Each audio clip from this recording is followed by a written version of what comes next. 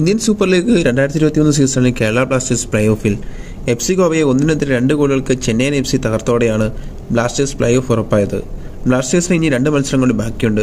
തുടർച്ചയായ രണ്ടാം തവണയാണ് ബ്ലാസ്റ്റേഴ്സ് ഐ എസ് എല്ലിൽ പ്ലേ ഓഫിലെത്തുന്നത് പ്ലേ ഓഫ് മത്സരങ്ങളിൽ ബ്ലാസ്റ്റേഴ്സിന് ഭീഷണി എന്ന എഫ് സി ഗോവയ്ക്ക് പത്തൊമ്പത് മത്സരങ്ങളിൽ നിന്നും ഇരുപത്തേഴ് പോയിന്റ് ഉണ്ടായിരുന്നു. ഇന്നലത്തെ മത്സരത്തിൽ തോറ്റതോടെ ഗോവയുടെ പ്ലേ ഓഫ് പ്രതീക്ഷകൾ അവസാനിച്ചു.